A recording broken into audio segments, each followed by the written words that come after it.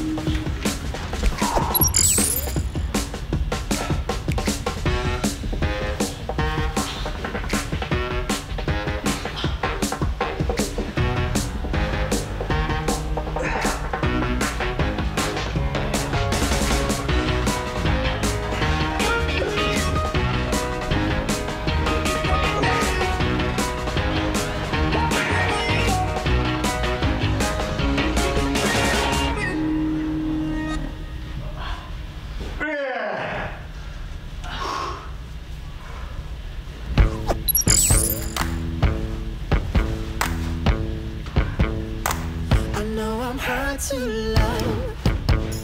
I can never get enough. But then sometimes you're too much. I'm down, then I'm up. I know I'm hard to love.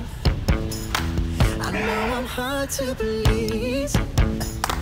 I'm never happy, it seems. But you put my heart at ease when it's crashing like this.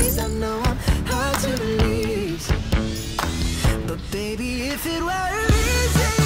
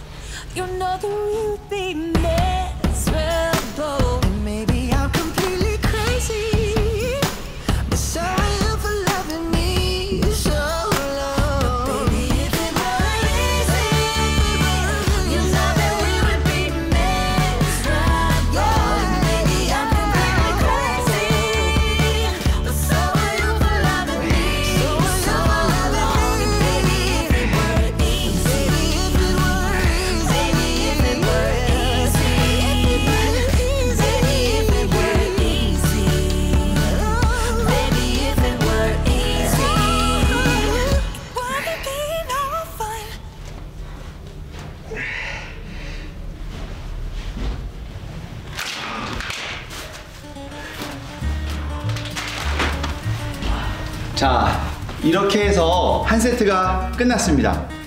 자, 한 세트에서 걸린 시간에서 곱하기 한 번 더 하면 2세트가 되겠죠. 체력이 되시거나 내가 좀 더 강한 회전근개를 내가 만들고 싶다 하면 2세트를 해주면 좋고요.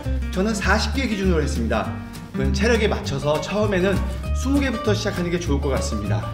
아, 또한 너무 자신의 그 투구하는 팔만 하기보다는 반대팔도 이렇게 하프 정도 시간이 되면은 같은 비율로 해주면은 건강에도 아주 좋으니까 한번 해보도록 해보십시오. 감사합니다.